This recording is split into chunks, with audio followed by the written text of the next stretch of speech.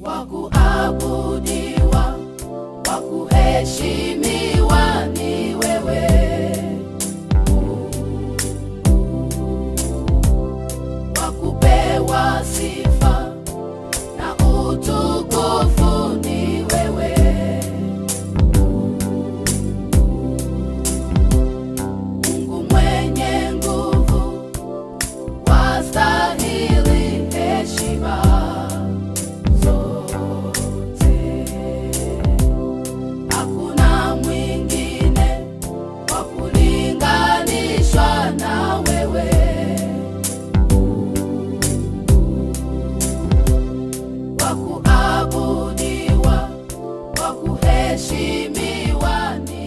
I said, Praise the Lord.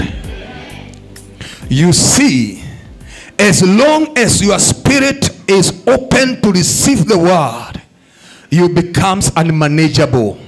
The devil cannot manage you because he cannot manage the word of God. Kabla ya kuingia kwa mahubili kuna kitu nataka we, we claim and we declare and we claim. Amen. Hebu niulizie mwenzako, are you ready to declare and to claim? Proverbs chapter 13. Let us go to verse 22. Inasema hivi, A good man leaves an inheritance to his children's children, and the wealth of the sinner is laid up for the just. Tunaweza kuketi. A good man leaves inheritance to his children children. Hallelujah. Praise the Lord. And the wealth of the sinner is laid up for the just. Ya kwamba mtu mwenye haki anaachia watoto wake na watoto wa watoto wake ulithi na utajiri wa mtu mu, muofu, mtu ambaye ni mudharimu, huwa ameweka kwa sababu ya mwenye haki, ni kwa sababu ya mtu mwenye haki. Oh, Woo! Ninashukuru Bwana, ni kwa sababu alipoangalia watu wake akaona hawakuwa na urithi wa kuachia watoto wao na watoto wao, ni kwa sababu chenye walikuwa wamefanyia kazi kilikuwa kinafurahiwa na wadharimu katika nchi ya Misri. Biblia inasema wana wa Israeli walikuwa wanafanya kazi sana, lakini ilikuwa inawanufaisha wana wa Misri, lakini neno la Mungu lazima angelifuatilia ahakikishe kwamba limesimama. Ni kwa sababu mbingu na nchi hizo zitaondoka, wanadamu wataondoka, milima itaondoka, bahari itaondoka, lakini neno la Mungu litadumu milele. Na sasa lazima Mungu angelifuatilia neno lake kuhakikisha kwamba kama vile ambavyo amesema watu wake wamepata kitu wameacha wamepata urithi wa kuachia watoto wao na watoto wa watoto wao. Ni kweli miaka mia nne na thelathini ni kana kwamba neno hili lilikuwa haliwezi kutimia, lakini ninashukuru ni kwa sababu Mungu huwa hana haraka. Mungu ako na kitu huwa kinaitwa the appointed time.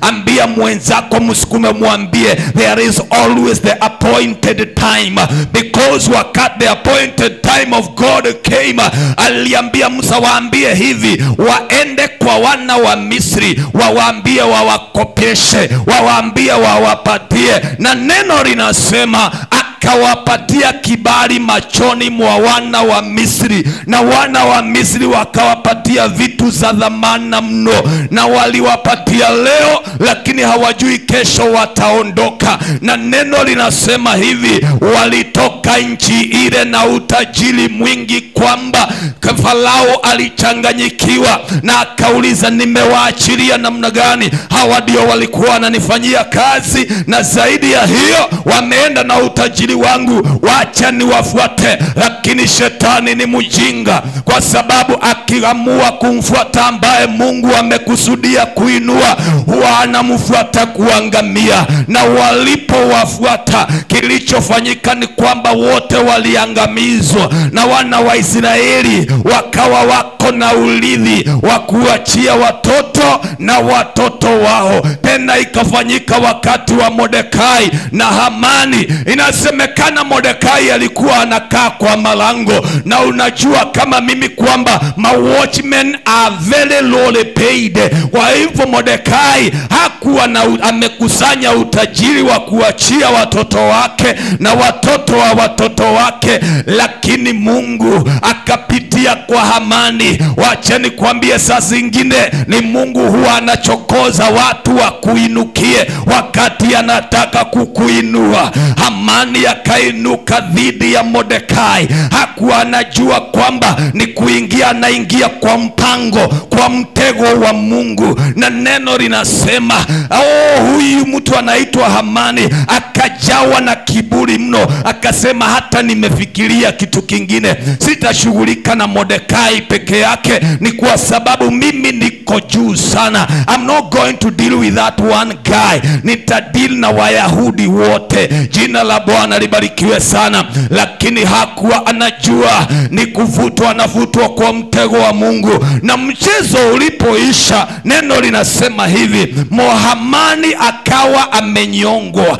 Lakini kinachonifurahisha mno si kunyongwa kwa hamani. Nyumba ile ya kifahari ambayo ilikuwa inaitwa ya namani ikapatiwa modekai ikapatiwa modekai ile ranki ya kazi ambayo ilikuwa ni ya Mordeka, ni ya hamani ikaishia kwa mikono ya Mordekai, Mordekai na wayahudi ninataka kukwambia ya kwamba mungu wa wakati wa wa- wana wa israeli kutoka misri hajabadilika. Mungu wa wakati wa Mordekai na hamani hajabadilika. He is still in the business of transferring the wealth of the wicked from the hands of the wicked to the hands of the saint and i prophesy we are already in that season. We are already on that season. We are already right in that season. Kuna watu itasababisha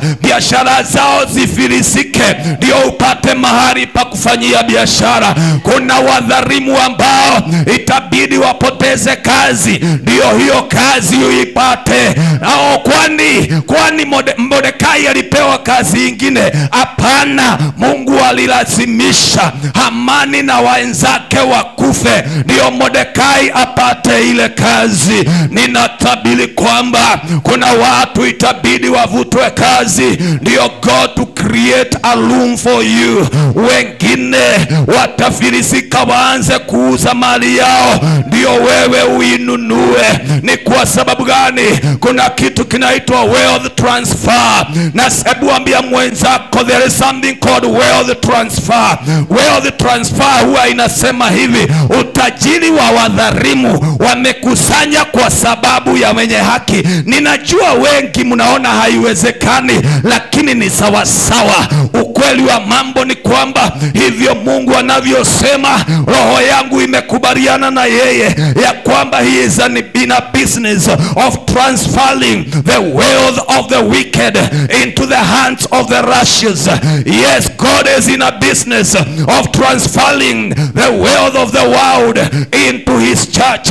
And i'm so grateful because he has marked me to be one of the recipients. I don't know about you. I know some of you you are saying it is not possible. Ndiyo hata wakati wa elisha alisema kesho chakula kitakuwa kingi mno na mtu mmoja aliyekuwa na kiberebere akasema hata mungu akafungua madirisha ya binguni jambo hilo haliwezekani. Akamwambia linawezekana wewe utaona na macho lakini hautakula.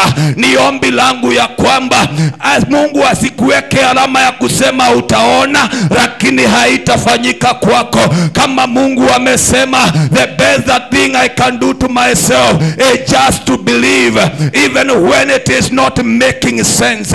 I have lived with what makes sense for so many years, but it has not been bettering my situation. I'm longing to go beyond the senses, common sense. Abia mwenzako lies beyond common sense because common sense always produces common results and we do not want common results.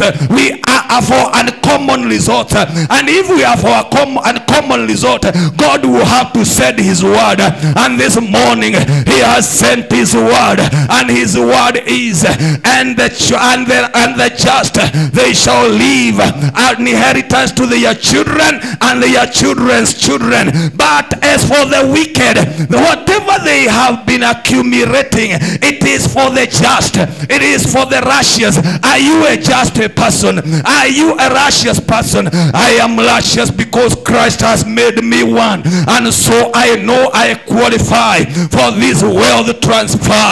I qualify for this wealth transfer. You qualify for this wealth transfer. You are the only person who can disqualify yourself.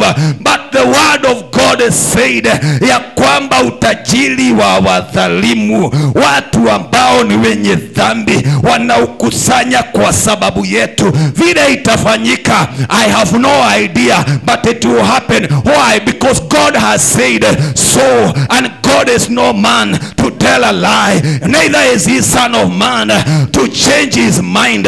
He has said it and he is going to do it. He has said it and he is going to do it. I said he has said it and he is going to do it. Wapendwa adui mmoja wetu ni kwamba tumezoea neno la mungu kama watoto wa mtu anaitwa obed idom watoto wa obed idom walizaliwa kwa nyumba ambayo walipata saduku la agano na wakikuwa wakalizoea kiwango ya kia, kwamba wakiwa watoto saa zingine wangelikalia saa zingine wangelichezea. Lakini daudi alipokuja kuchukua hili saduku la agano god had already gotten mad with the sons of this man called obed edom ya kwamba walipolizidikisha walikuwa wamelizoea ndani ya nyumba yao. Walipolizidikisha litatoka nje ya nyumba yao. Neno linasema kwamba mtoto mmoja anaitwa uza akaenda akalishikilia. Hakuwa god had become so mad so angry and so tired with him becoming used to the ark of the covenant. Our ark of covenant today is this word. And i am afraid and very concerned because people have become so used to this word. Let me tell you neno hili ukilizoea halina manufaa yoyote. It just becomes another book. It just becomes another book. I said it just becomes another book. Elewa hii siyo gazeti siyo rais amesema si marais wa dunia wamesema ni yawe yawe ambaye wana wa israeli aliwaalika mlimani akawaambia musa waambie wajitayarishe siku tatu na siku ya tatu. Aliposhuka na randi na mtetemuko na kila kitu wana wa israeli wakasema tunaogopa we nenda msikilizane huyo ndiye mungu. Akaambia musa nyosha tu mkono. Ambia mwenzako nyosha tu mkono. Mwambie nyosha tu mkono. Mwambie nyosha tu mkono. Kuambiwa anyoshe mkono kile mungu alikuwa anamwambia ni kwamba kubaliana nami kubaliana nami ambiambia mwenzako kubaliana na mungu kubaliana na mungu. Kama amesema ya kwamba mwenye haki atawachia watoto na watoto wa watoto wake urithi kubaliana na mungu. Kama mungu amesema utajiri wa wadharimu wanakusanya kwa sababu ya wewe mwenye haki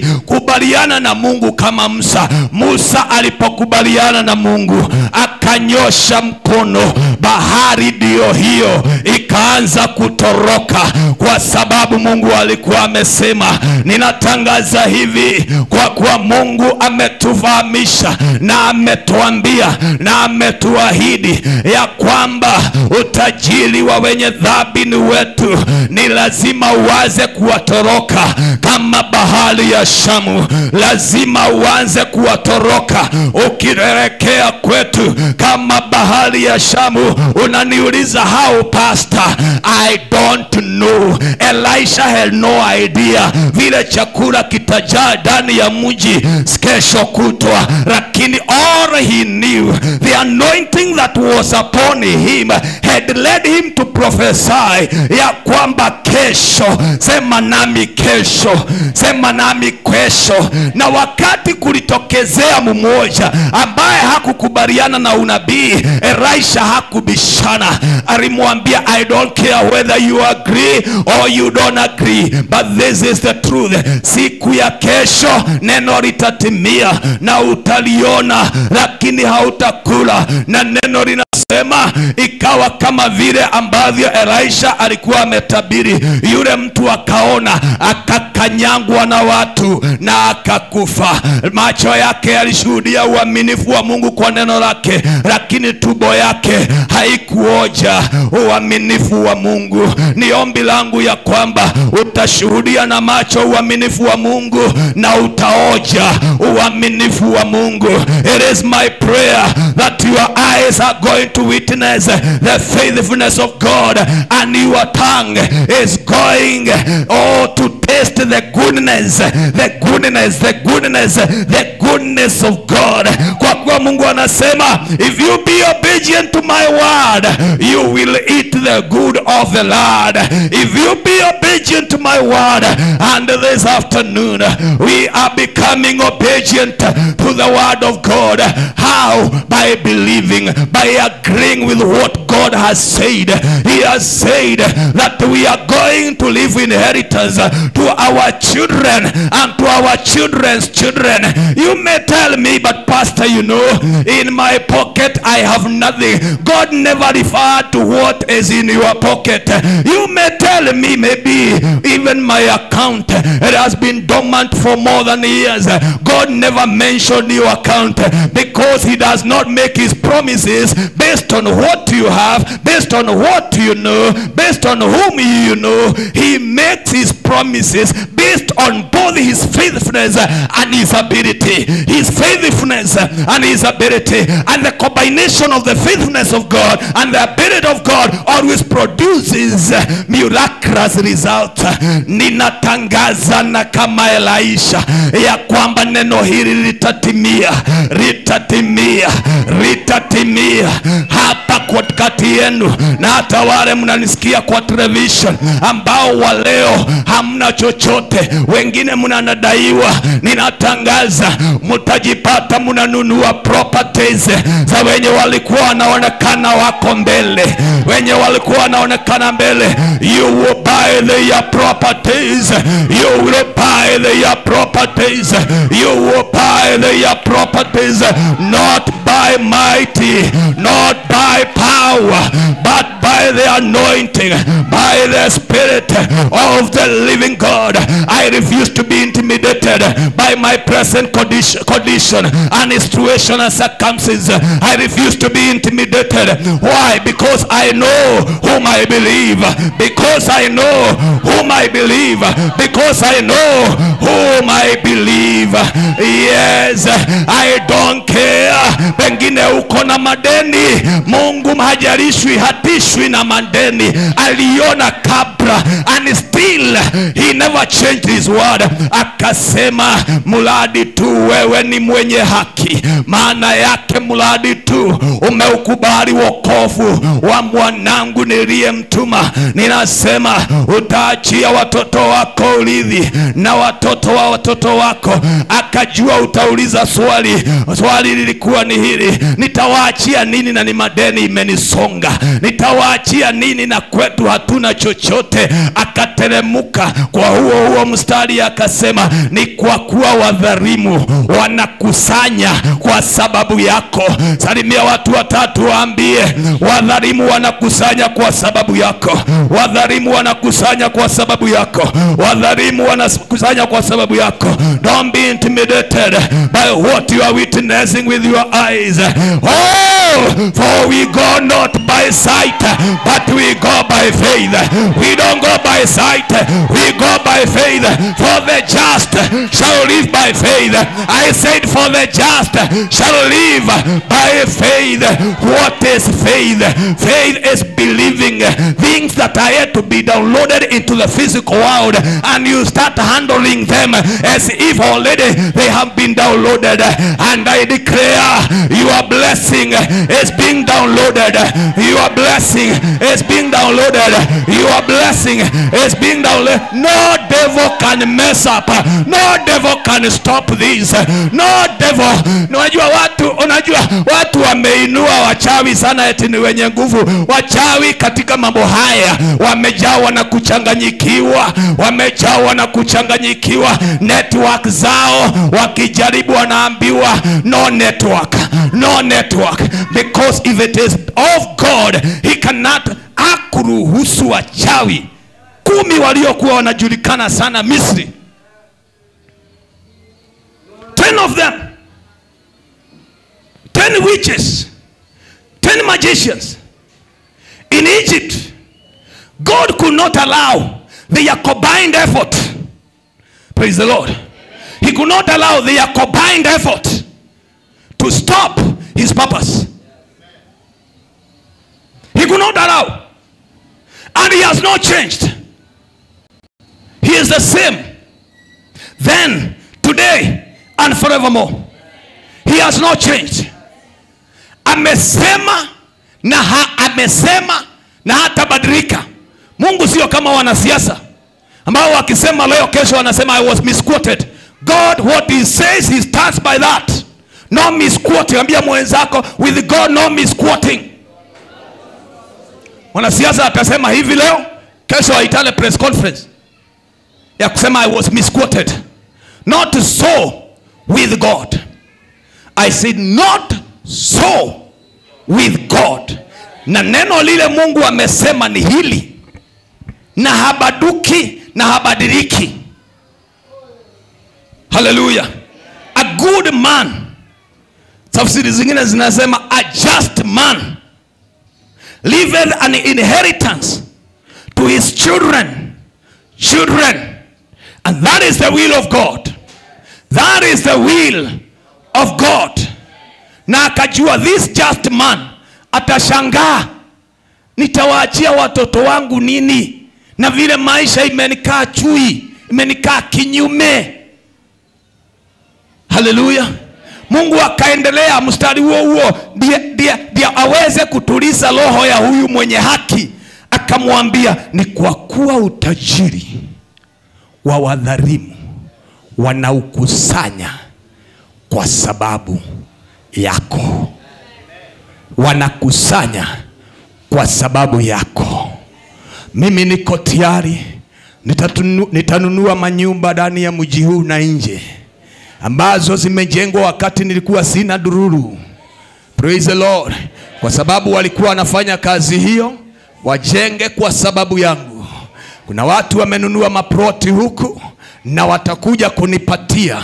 Ni kwa sababu gani? Mungu amesema mungu akisema mwanadamu ni nani? Alete mabishano. Kuna watu ambao jina la bwana libarikiwe sana nasema jina la bwana libarikiwe sana. Kuna watu mi sijui wewe lakini ninaomba nikuambukize imani hii. Naomba imani hii ikuangukie. Naomba imani hii ikuangukie. Ninaomba ikuangukie. Naomba ikuangukie. Naomba ikuangukie. Angukiwa na imani hii. Angukiwa na imani hii. Ya kwamba usitishwe ukisikia wadhalimu wenye dhambi wametajirika sana inafaa uanze kurejoice. Oh thank you lord. Thank you lord. Waongezee tu wape nguvu za kukusanya. Kwa sababu mimi oh, wakati wa kukusanya si wangu. Wangu ni wa kutafuta ufalme kwanza. Tafuta ufalme wangu kwanza na haki yake. Na hizi wanakusanya utakuja kuzichukua. Kuna watu mungu amepea nguvu za kukusanya na wakati nitazihitaji anasababisha wawe wagonjwa. Wazunguke dunia yote alafu waambie mkikutana tu na aposo mchina hii shida kuisha. Haleluya nasema haleluya. Siusome maandiko usikie naman si si usome maandiko usikie elisha. Miaka ishirini alikuwa anakibizana na elija aliacha biashara zake za ukulima akaacha shughuli zote kukibizana na elija hiyo ni kutafuta umufalme wa mungu na haki yake. Lakini mara tu alipo ascend haikuchukua muda. Biblia inatuambia namani alikuja na puda sita wamebeba utajiri.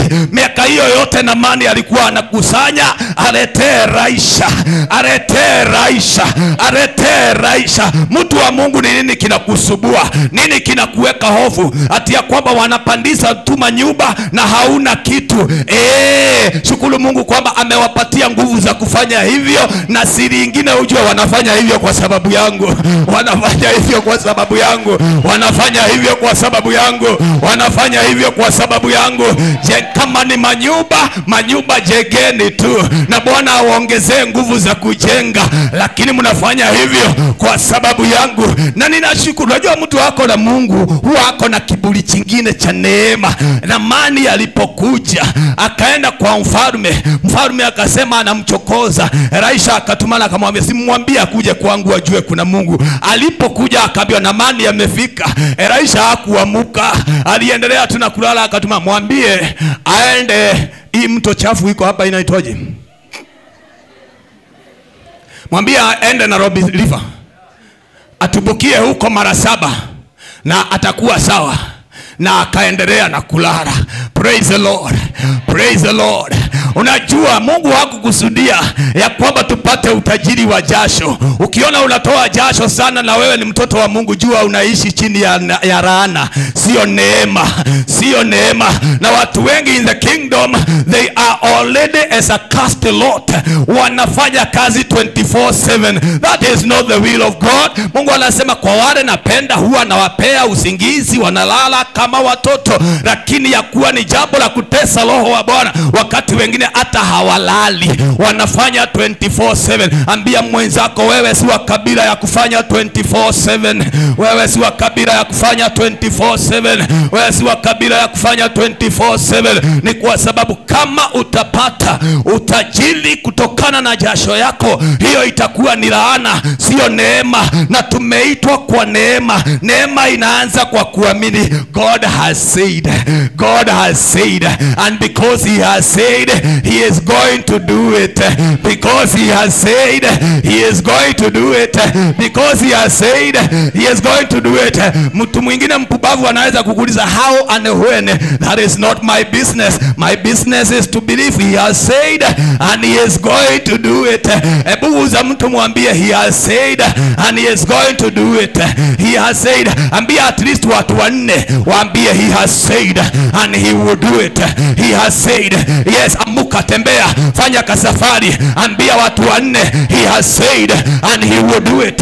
He has said and he will do it. He has said and he will do it. Not by mighty nor by power but by his spirit. He has said and he will do it. What has he said? This is what he has said. A good man a good man leaveth an inheritance to his children's children and the wealth of the sinner is laid up for the just.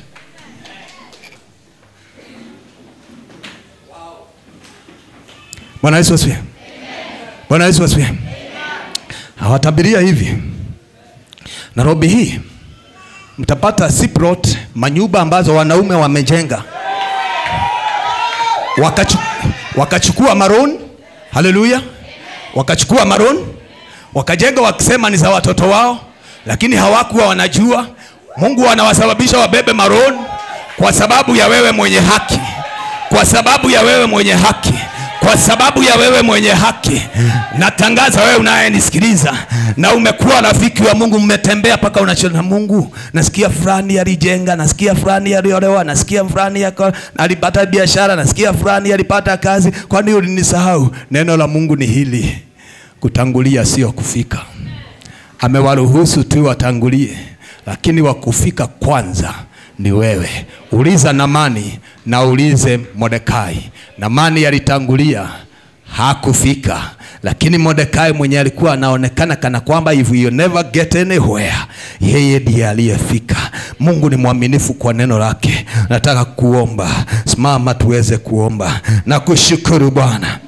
Huwa kinywa chako mshukuru Bwana, mwambie Bwana ni asante kwa mawazo unayoniwaza nayo, mawazo ya kutisha, mawazo ya kupendeza, mawazo ya ajabu. Hey! Rakabahanda uzai debrozekendehinda rigabahoza naiza. Na si umesema na si utatenda. Tumekuamini Bwana, tumekuamini kwa kuwa wewe ambaye umesema wewe ni mwaminifu na umetangaza peupe waziwazi ya kwamba ya kwamba o mwenye haki ataacha utajiri na urithi kwa watoto na watoto wa watoto wake, lakini mdhalimu anakusanya kwa sababu ya mwenye haki. Sasa tunadai mali ya wenye dhambi ya wadhalimu ambayo wamekuwa wakikusanya kwa sababu yetu. Fungua kinywa chako, anza kuitisha mali ambayo iko kwa mikono ya wadhalimu.